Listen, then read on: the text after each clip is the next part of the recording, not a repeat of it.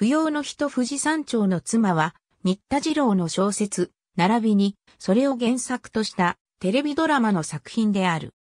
明治25年、日本の気象予報を正確に把握するために、富士山の山頂に観測所を設置しようと、野中至は、富士山に登頂し、冬の寒さに耐えながら、気象観測に力を尽くす。この物語は、至ると彼と行動を共にした夫人、千代子との夫婦愛と気象観測に情熱を注いだ人生を描いたものである。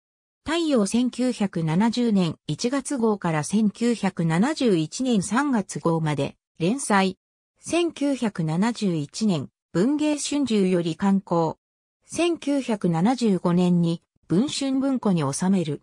1973年1月24日、同年1月31日に NHK 総合テレビジョンで放送。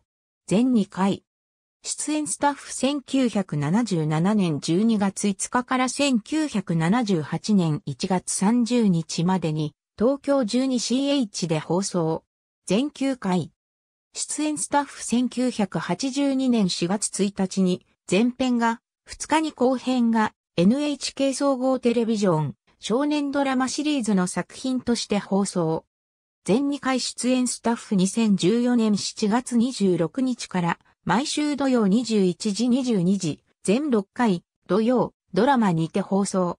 観測小屋のセットの撮影は食品用の冷凍倉庫内に実物の資料をもとに外観まで再現した上でマイナス10度の環境下で行われており、積もった雪や俳優の吐く、息の白さは本物である。